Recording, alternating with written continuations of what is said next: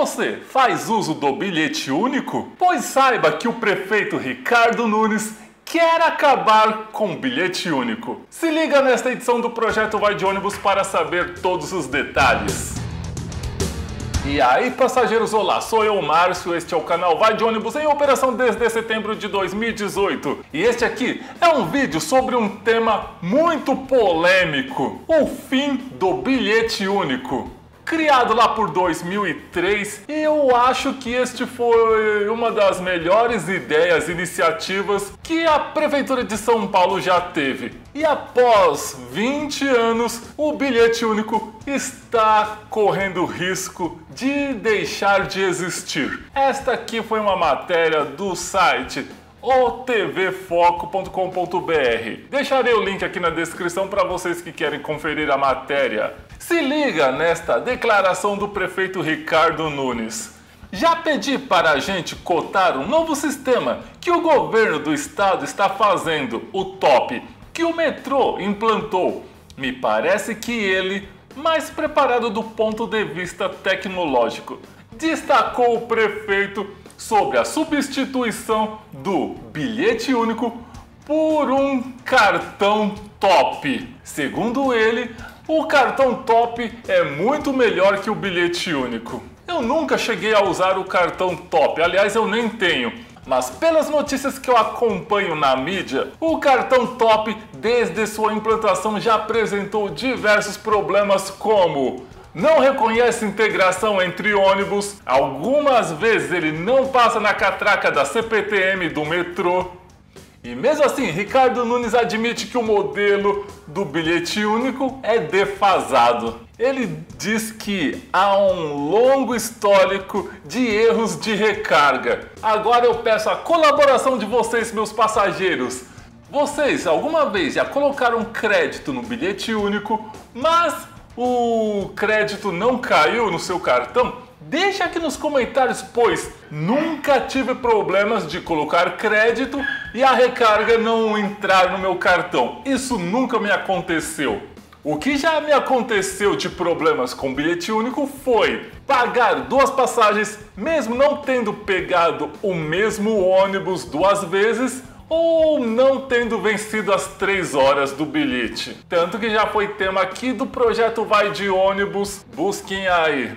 Tem dois vídeos sobre este tema, o erro de integração do bilhete único. Mas isso eu acho que é muito pouco para dizer que o bilhete único é inferior ao cartão top. E eu fiquei me perguntando qual o interesse do prefeito Ricardo Nunes é implantar o cartão Top SP Trans. E aí, pesquisando sobre as características do cartão Top, olha só uma coisa que pouca gente sabe. O cartão Top, ele também é um cartão de crédito.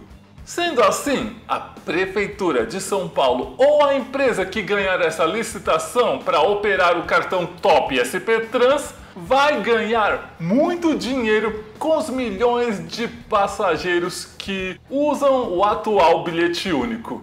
Quer saber como uma empresa ganha dinheiro oferecendo cartão de crédito? Fiz aqui uma tabelinha mostrando o exemplo de uma fatura de mil reais. Se você dividir esta fatura em duas parcelas de 550, você pagará um total de R$ 1.100. Agora, se você dividir em três vezes, você pagará R$ 1.350. E vamos dizer que você queira pagar em quatro vezes. Então, em vez de pagar os mil reais, você pagará 1.600. E vamos seguindo assim o exemplo aqui até o final para ver. Se você dividir em 10 vezes, olha só o tanto que você pagará. Ao final, você pagando as 10 parcelas de 230, você pagará um total de R$ 2.300.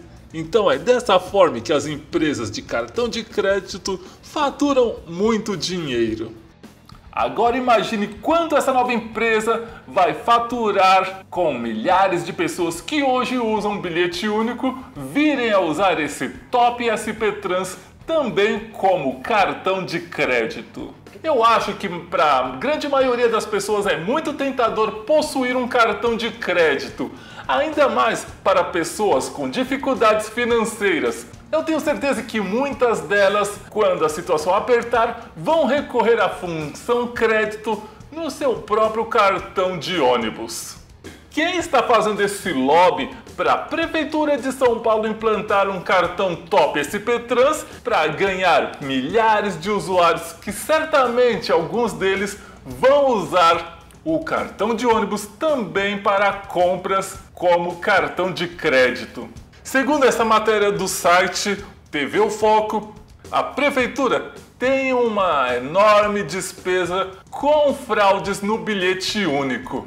Mas aí eu lembro que há alguns anos a prefeitura também investiu milhões em instalar em todos os ônibus uma câmera de reconhecimento facial, um sistema que permite verificar se é o usuário que está realmente usando o bilhete único. No entanto, eu já emprestei o meu bilhete único várias vezes para minha namorada, minha namorada também já emprestou o cartão dela para mim várias vezes e nunca teve bloqueio. Eu acho que ali na estação Itaquera há pessoas usando cartão de deficiente especial cobrando quatro reais. Então você passa na paga quatro reais, passa o cartão especial e devolve depois pro ambulante que está lá faturando com o cartão especial de outra pessoa. Se investiram tantos milhões num sistema de reconhecimento facial, como é que pode ainda a prefeitura dizer que tem um prejuízo de 200 milhões com fraudes? Pessoas que utilizam o cartão especial para pagar passagem e faturar o dinheiro em cima. E a solução deles foi: vamos acabar com o bilhete único e implantar o Top SP Trans. E aí, será que com este cartão vai impedir mesmo que ocorram todas essas fraudes que eu já citei? Deixe aqui nos comentários se vocês fazem uso do cartão Top. O que ele tem de tão superior ao bilhete único SP Trans? Conto com a sua participação e claro, se você gostou desse vídeo, deixe o seu like, se inscreva no canal e compartilhe aí. Eu quero que mais pessoas fiquem sabendo das aventuras desse pseudo administrador que está ali ocupando a prefeitura. É cagada atrás de cagada, viu? Então, passageiros, muito obrigado por assistir até aqui e até mais.